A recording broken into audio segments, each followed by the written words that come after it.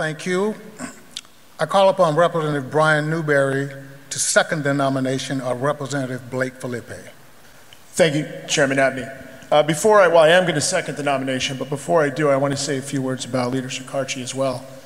Um, although he was much more experienced in politics and renowned than I was before he got elected to this chamber, he was a freshman, and uh, I remember he sat behind me his first two years, and we got to know each other really well. He used to, uh, I would use the word badger, used to say to me, You got any good bills? And I said, All my bills are good bills, Joe.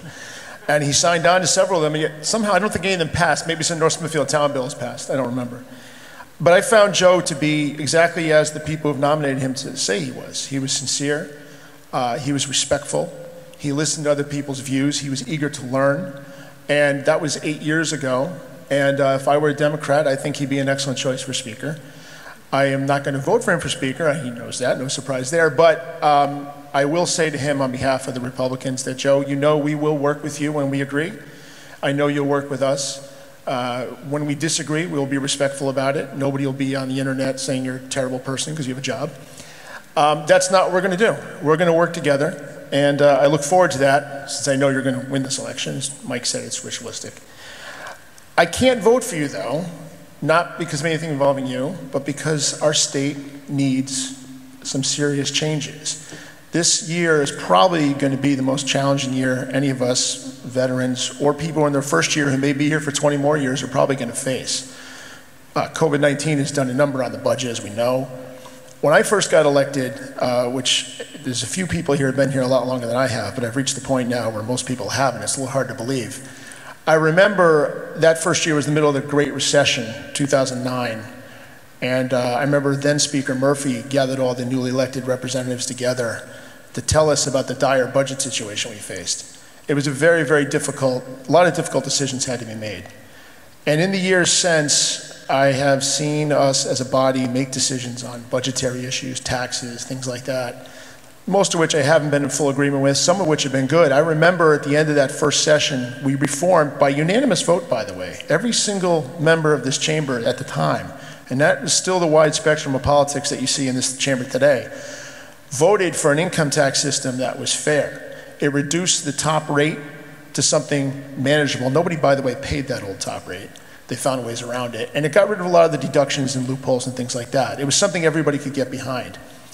So there's been some good things done, but the problem at the end of the day is, and if those of you who are not new will remember, I stood here in December during the budget debate then, and I said that one of the most important things we all need to do, and I think we all agree on this, is we need to have the money to pay for those things that are really needed to help take care of people who can't take care of themselves.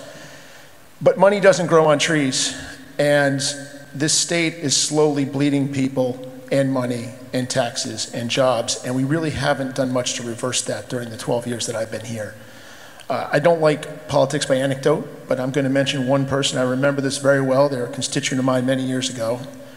Their youngest daughter was my daughter's age. She was in her class, and they ran a business in North Smithfield out of their house, the, some kind of financial services business. They paid a lot in taxes, property tax, income tax, etc. And the instant that their youngest daughter was admitted to Mount St. Charles in Woonsocket, they put their house in the market and moved to Uxbridge. Nothing really changed about their life, but they started paying taxes to Massachusetts. That's what happens when you try to kill the golden goose. We need to do something severe in this state to do something to help our business community because you don't have money to pay for social services unless you've got tax money to bring in. And you can't just keep piling the taxes onto people.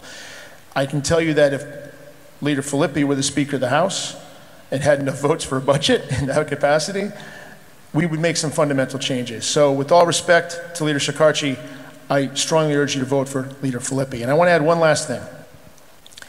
There's been some public talk that some of the folks here may abstain from this vote. And for what it's worth, I'm going to give a word of advice to those people. People who may be thinking that are probably people who disagree with me politically on most things. That's okay. Maybe you're not interested in what I have to say, but I'm going to say it anyway. I'd advise you not to do that for two reasons. First, we don't get elected not to make decisions. I think everybody here who's not a freshman has at one time or another, to use the parlance, taken a walk on a bill. I've done it.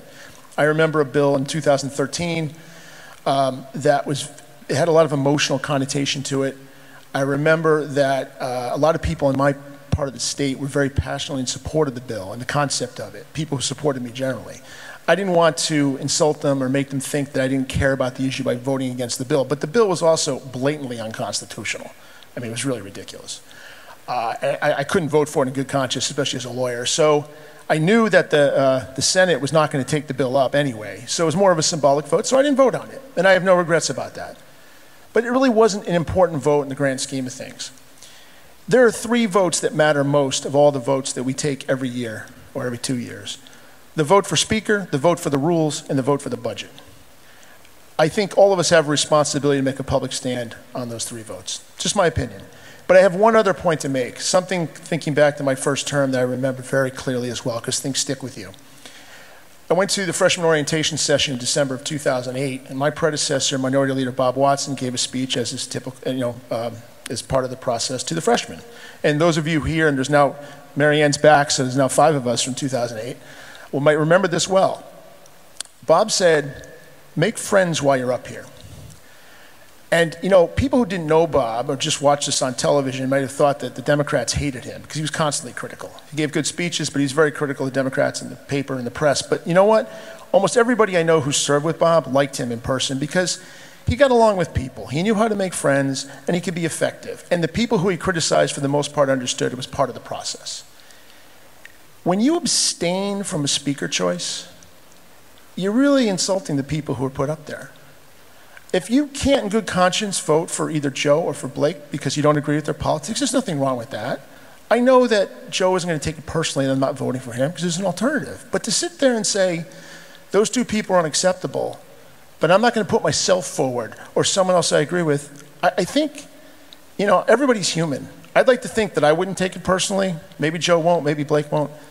But people are human. Think about that. If you don't support them, that's fine. Vote for an alternative. Don't just say no.